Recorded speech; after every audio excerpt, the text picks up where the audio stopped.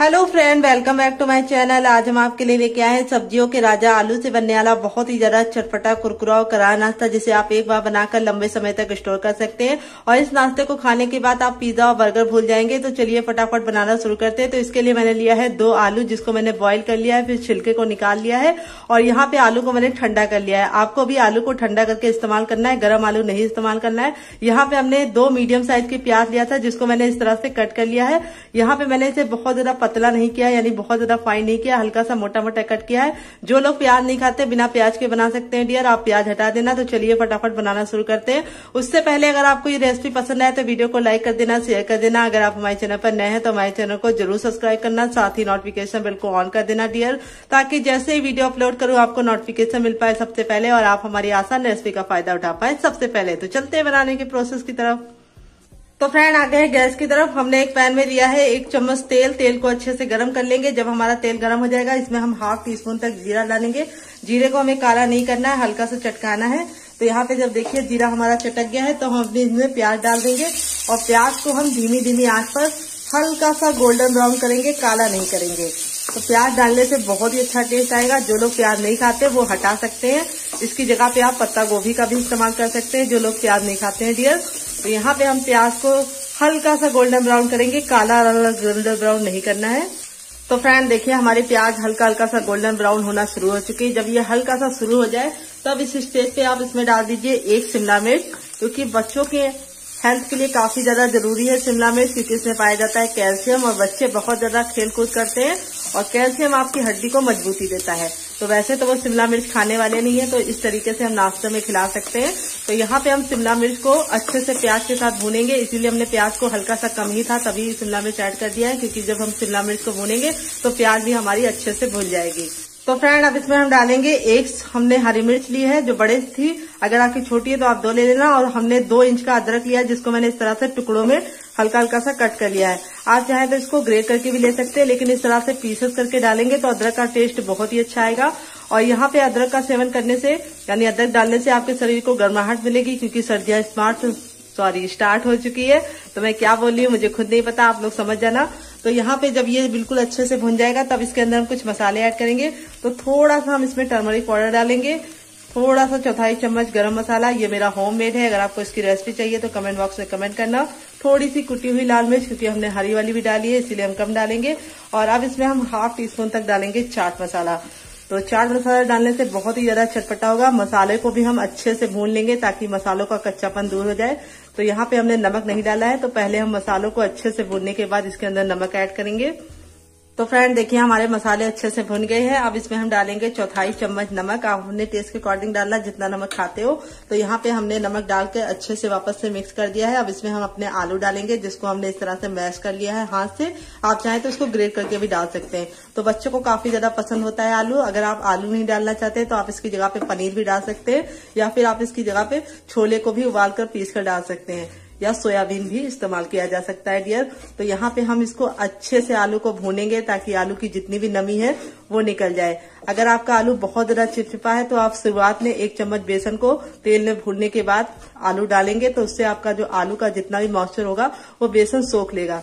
तो यहाँ पे हम अच्छे से देखिए भून दिए हैं। अब इसके बाद हम इसमें डालेंगे नाश्ते की जान, थोड़ा सारा धनिया। एक बड़ा चम्मच है, अगर छोटा चम्मच देखा जाए तो चार चम्मच है। तो जो लोग हरा धनिया इतना नहीं खाते, वो कम कर सकते हैं। कौन कौन मेरी तरह बिल्कुल हरा धनिया बहुत ज़्यादा पसंद करता है, कमेंट बॉक्स में ज़रूर बताना। तो यहाँ पे अगर आप हरा धनिया नहीं खाते तो आप इसमें पुदीना भी ऐड कर सकते हैं। तो देखिए, हमारा चटपटा सा आलू रेडी हो चुका है। अब इसको हम एक प्लेट में निकाल कर ठंडा करेंगे। तो जब तक ये ठंडा हो रहा है, हम दूसरा काम कर लेते हैं, इसे साइड में रख देंगे। तो यहाँ पे देखिए, मैंने साइड में निकाल के रख दिया जब तक ये ठंडा होगा, हम क्या करेंगे? एक पैन ले लेंगे। इसके अंदर हम डालेंगे दो गिलास पानी। तो पहली गिलास, ये देखिए, हमने डाल दी है। बड़ी गिलास डालनी है दो गिलास। तो फ्रेंड ये गया हमारा दूसरा गिलास पानी। पानी को हमें एक उबाल आने का वेट करना है। तो फ्रेंड देखिए हल्का हल्का सा उबाल आना शुरू हो गया है। इस स्टेज पे हम इसमें हाफ़ टी स्पून तक नमक डालेंगे, क्योंकि हमारा इसके अंदर भी नमक है तो हमें बैलेंस के साथ नमक डालना है, ज़्यादा नमक नहीं डालना है। अब इसमें हम डालेंगे आधा चम्मच साबुत जीरा, जिससे बहुत ही अच्छा टेस्ट आएगा। और यहाँ पे अब इसके अंदर क्या जाएगा, आपको बताते हैं। तो फ्रेंड अब इसके अंदर हम डालेंगे एक चम्मच देसी घी। अगर आपके पास देसी घी ना हो तो आप इसकी जगह पे रिफाइंड ऑयल या बटर का भी इस्तेमाल कर सकते हैं। तो देसी घी डालने से बहुत ही अच्छा टेस्ट आएगा। तो यहाँ पे हम इसको बिल्कुल मेल्ट होने तक पका लेंगे। यानी जब तक हमारा घी नहीं पिघलता है, तब तक हमें इसको पकाना है और तभी टेस्ट अच्छा आएगा हमारी रेसिपी में। तो फ्रेंड अब इसके अंदर हम थोड़ा सा डालेंगे हींग। चौथाई चम्मच और हींग डाल के हम अच्छे से मिक्स कर लेंगे। तो देखिए, घी हमारा बिल्कुल अच्छे से मेल्ट हो गया है। अब इसके अंदर हम क्या डालेंगे? सूजी। तो यहाँ पे मैं बारीक वाली सूजी का इस्तेमाल कर रही हूँ और आपको भी बारीक वाली सूजी लेनी है। अगर आपके पास मोटी वाली सूजी हो तो मिक्सी जार में डालकर एक बार ग्राइंड कर लेना। तो यहाँ पे वेट ने हमारी ये मुश्किल से पचास ग्राम है। नाप में एक कटोरी है। तो यहाँ पे सूजी को हम इस तरह से डालेंगे और चलाते जाएँगे। तो एक साथ सूजी नहीं डालनी है, नहीं तो अच्छा टेस्ट नहीं आएगा। तो ये देखिए इस तरीके से। कंटिन्यू चलाते हुए हम इसको लो फ्लेम पर पकाएँगे, जिससे सूजी का कलर भी अच्छा आएगा और बिल्कुल अच्छे से हमारी दानेदार सूजी बनेगी। अगर आपके पास सूजी ना हो तो आप इसकी जगह पे चावल का आटे का भी इस्तेमाल कर सकते हैं और यहाँ पे हम कंटिन्यू चला इसलिए रहे ताकि इसमें गुठलियाँ ना पड़े और गैस का फ्लेम हमारा मीडियम है। ये देखिए तो यहाँ पे हमने दो ग्लास पानी इस्तेमाल किया है एक कटोरी सूजी के लिए। अगर आप दो कटोरी सूजी ले रहे हैं तो आपको चार ग्लास पानी लगेगा। जितना अच्छे से हम इसको पकाएँगे, उतना ही हमारा नाश्ता कुरकुरा और क्रिस्पी बनेगा। तो ये देखिए कंटिन्यू चलाते हुए हम इसको पका लेंगे दो मिनट तक। तो फ्रेंड देखिए, दो मिनट के बाद सूजी बिल्कुल इस तरह से पैन छोड़ने लगती है और सारी सूजी हमारी, देखिए, कितनी दानेदार हुई है, आपको करीब से दिखाते हैं। और इस तरह से आप चेक कीजिए थोड़ा सा ले लीजिए, बहुत जल रहा है। तो केयरफुली आप इसको इस तरह से गोला बनाइए।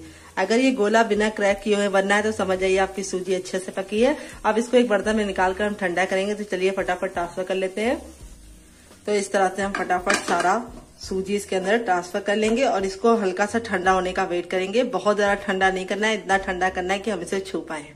तो फ्रेंड देखिए, ये हल्का सा ठंडा हो गया अब इसे हम छू पाएँगे। अब इसमें हम डालेंगे कुटी हुई लाल मिर्च हाफ़ टी स्पून इससे बहुत ही अच्छा कलर आएगा। अगर आपके पास ये ना हो तो आप लाल मिर्च पाउडर भी डाल सकते हैं। हाफ़ टी स्पून तक हम डालेंगे चाट मसाला, ज़्यादा चाट मसाला नहीं डालना है।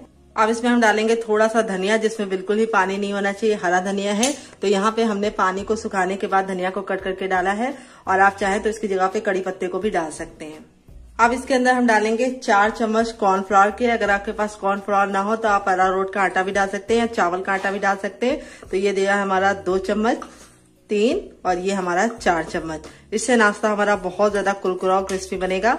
अगर आपके पास ये ना हो तो आप इसकी जगह पे मैदा का भी इस्तेमाल किया कर सकते हैं। अब इसको हम जब हल्का सा गर्म होगा, तभी मिला लेंगे सारी चीज़ों को, ताकि आपस में मिल जाए। तो अगर आपको लगे जरा जल रहा है तो आप अपने हाथ को थोड़ा सा पानी में डालकर भिगा कर तब इसे मसल मसल कर, बिल्कुल डो के फॉर्म में जैसे आटा होता है, रोटी वाला, गुंदा हुआ, वैसे हमें लेके आना है इसको। तो फ्रेंड देखिए, इस तरह से मसल मसल के मैंने बिल्कुल इसको डो के फॉर्म में ले आई हूँ। और यहाँ पे पानी का बिल्कुल भी इस्तेमाल नहीं होगा, क्योंकि सूजी हमारी वैसे ही पानी सोखी है तो उसमें आप थोड़ा सा कुछ भी डालेंगे तो वो अच्छे से मिल जाएगा। तो हल्का सा गर्म होगा, तभी हम करेंगे। अब हम क्या करेंगे, अपने हाथों को वॉश करने के बाद इसे शेप देंगे। तो यहाँ पे देखिए, हमारा ये आलू जो था वो बिल्कुल अच्छे से ठंडा हो चुका है। अब हम बनाना शुरू करेंगे। पहले हाथ को वॉश कराते हैं। तो फ्रेंड ये देखिए, हमारा सारी चीज़ें रेडी हो चुकी है। अब यहाँ पे हम प्लेट ले लेंगे, इसमें बना बना के रखेंगे। तो यहाँ पे इस तरह से अब हम अपने हाथों पे ऑयल अप्लाई करेंगे ताकि ये चिपके ना। तो दो से तीन बूंद ऑयल लेके अच्छे से अपने हाथों को ग्रेस कर लेना है। और अब हम इस तरह से थोड़ा सा पोषण लेंगे। नींबू के आकार का बहुत ज़्यादा बड़ा नहीं लेना है और इसको हम इस तरह से गोला बनाएँगे अच्छे से। तो यहाँ पे हमें इस तरह से इसको एक से दो बार मोड़ना है ताकि ये बिल्कुल अच्छे से स्मूथ हो जाए। आप चाहे तो गूंद भी सकते हैं। अब इसको हम इस तरह से थोड़ा सा फ्लैट कर लेंगे। ये देखिए, हो गया। और आपने ऑयल लगाया होगा तो बिल्कुल भी चिपकेगा नहीं।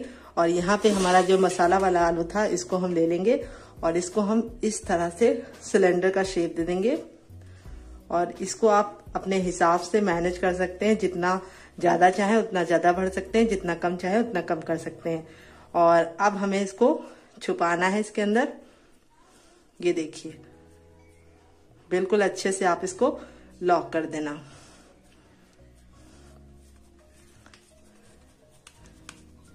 देख रहे हैं आप लोग? तो हम इसे गेहूँ का आकार देंगे।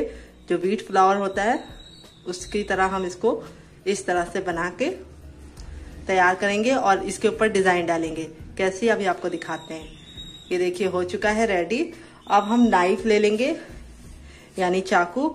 और यहाँ पे हम चाकू का उल्टा वाला भाग इस्तेमाल करेंगे और इसके ऊपर हम थोड़ा सा इस तरह से कट लगाएँगे. ये देखिए, बहुत ज़्यादा डीप नहीं होना चाहिए. इस तरह से आपको कट लगाना है डियर देखिए, कितना सुंदर लुक लग रहा है, बिल्कुल गेहूँ लग रहा है ना? तो किस किस को लग रहा है, जल्दी से कमेंट बॉक्स में बताना. तो इसी तरीके से हम बाकी भी तैयार कर लेते हैं, फिर आपसे मिलते हैं. तो फ्रेंड इस तरह से मैंने बना लिया है। देखिए कितना प्यारा लग रहा है। ऐसे ही खाने का मन कर रहा है। तो आप इसे हवा बंद डिब्बे में बंद करके फ्रिज में लगा सकते हैं। 10 से 15 दिन तक ये बिल्कुल भी खराब नहीं होगा। जब आपके यहाँ मेहमान आए या आपका मन करे, आप इसे निकाल के बना सकते हैं और बनाकर रख देंगे तो लंबे समय तक स्टोर कर पाएँगे। तो चलते हैं गैस की तरफ़। इसे बनाकर दिखाते हैं आपको। तो फ्रेंड आ गया गैस की तरफ़, एक पैन लिया, इसमें हमने तेल रखा है। आप चाहें तो इसे डीप फ्राई कर सकते हैं। मैं इसे कम तेल में बनाऊँगी सल्लो फ्राई करूँगी। और यहाँ पे तेल को आपको अच्छे से गर्म करना है। जो भी बर्तन लीजिए थोड़ा सा फैला हुआ लीजिए और भारी लीजिए तो तेल को हमें बहुत ज़्यादा धुआंधार नहीं गर्म करना है, लेकिन अच्छा सा गर्म होना चाहिए हमारा तेल। तो यहाँ पे देखिए, तेल हमारा बिल्कुल अच्छे से गर्म हो गया है। तो अब अपने तैयार नाश्ते को इसके अंदर डालेंगे। तो यहाँ पे आपको ख्याल ये रखना है कि इसे डालते समय आपको गैस का फ्लेम मीडियम रखना है। अगर आप इसे हाई फ्लेम पर पकाएँगे तो ये फट जाएँगे। तो बहुत सारे लोगों की शिकायत होती है कि जब भी वो सूजी की कोई भी चीज़ बनाते हैं तो वो फट जाती है। उसका कारण ये रहता है कि आप लोग फ्लेम को हाई कर देते हैं। तो लो फ्लेम पर बनाएँगे तो कभी भी नहीं फटेगा। तो यहाँ पे हमने इस तरह से डाल दिया है। अब इसको हम दो से तीन मिनट तक पकने देंगे, फिर उसके बाद टर्न करेंगे और उससे पहले आपको इसको टच नहीं करना है। तो फ्रेंड, दो से तीन मिनट हो चुका है। अब इसे हम नाइफ की सहायता से या छोटे चम्मच की सहायता से आप किसी से भी इसको टर्न कर सकते हैं। ये देखिए कितना बेहतरीन हमारा नाश्ते का लुक आ रहा है। ये देखिए। तो यहाँ पे हम इसको दूसरे साइड से भी दो मिनट पकाएँगे। गैस का फ्लेम हमने मीडियम ही रखा है। हाई फ्लेम पर नहीं पकाना है। नहीं तो ये अच्छा सा कुक नहीं होगा और मज़ा नहीं आएगा खाने का। तो थोड़ा सब्र से काम लेंगे तो रिज़ल्ट भी अच्छा आएगा और लंबे समय तक आप इसे स्टोर कर पाएँगे। तो देखिए, टर्न कर दिया। आप दूसरे साइड से दो मिनट पकाने के बाद हम इसे दिखाएँगे आपको। तो फ्रेंड दो मिनट हो चुके हैं। देखिए, दूसरे साइड से भी बिल्कुल अच्छे से डन हो गया है। बिल्कुल भी फटे नहीं है और जो हमने इसके अंदर आलू फिल किया था, बिल्कुल भी बाहर नहीं आया। है और आपका भी रिज़ल्ट ऐसा आएगा, अगर आप मेरी टिप एंड ट्रिक को फॉलो करके बनाएँगे तो देखिए हमारे नाश्ते का फाइनल लुक कितना खूबसूरत है। तो चलिए हम फटाफट इसको निकाल लेते हैं, फिर उसके बाद हम बाकी ये जो हमारा है, ये भी बनाने के बाद आपसे मिलेंगे। नहीं तो वीडियो काफ़ी लंबा हो जाएगा, डियर। तो यहाँ पे हम इसको ऐसे रखेंगे ताकि जो एक्स्ट्रा तेल है वो वापस निकल जाए। और ये बहुत ही ज़्यादा क्रिस्पी और कुरकुरा बना है। तो चलिए फटाफट निकाल लेते हैं, देखिए। तो फ्रेंड, बनकर रेडी है हमारा खूबसूरत सा नाश्ता, जो देखने में जितना ज़्यादा खूबसूरत लग रहा है, खाने में उससे ज़्यादा हेल्दी है लाइट वेट है, आप इसे दिल खोल के खा सकते हैं और लंबे समय तक स्टोर कर सकते हैं। तो देखिए, नाश्ता हमारा कितना प्यारा लग रहा है, चलिए आपको करीब से दिखा देते हैं। ये देखिए, कितना ज़्यादा क्रिस्पी है। और आप इसे लंबे समय तक स्टोर कर पाएँगे। इसे मैंने सर्व किया है केचप के साथ। आप इसे मोमोज चटनी के साथ, ग्रीन चटनी के साथ ही खा सकते हैं। और देखिए कितना कम तेल सोखता है। तो देखिए, हथेलियों पे प्रेस कर रहे तो तेल ही तेल नज़र नहीं आ रहा है, क्योंकि ये बहुत ही ज़्यादा क्रिस्पी बनता है। और आप अगर इसमें थोड़ा सा कॉर्नफ्लावर डाल देते हैं, जिसकी वजह से ये थोड़ा सा तेल को अपने अंदर जाने नहीं देता है। आप चावल का आटा भी इस्तेमाल कर सकते हैं। अंदर से काफ़ी ज़्यादा सॉफ्ट है और आलू देखिए कितने अच्छे से भरा है। तो चलिए, मैं इसे एंजॉय करती हूँ। आप भी बनाइए, खाइए, अपनी फैमिली वालों को खिलाइए। कैसी लगी आपको रेसिपी कमेंट बॉक्स में ज़रूर बताना। रेसिपी पसंद आए तो वीडियो को लाइक कर देना और फैमिली एंड फ्रेंड के साथ इसे ज़रूर शेयर करना। अगर आप हमारे चैनल पर नए हैं तो हमारे चैनल को नोटिफिकेशन बेल को ज़रूर ऑन करना, साथ में ऑल का बटन दबाना, ताकि जैसे ही वीडियो अपलोड करूँ, आपको नोटिफिकेशन मिल पाए सबसे पहले, और आप हमारी आसान रेसिपी का फ़ायदा उठा पाए सबसे पहले। तो चलिए सुपर टेस्टी नाश्ते को हम ट्राई करते हैं। आप भी बनाइए, खाइए bye take care love you all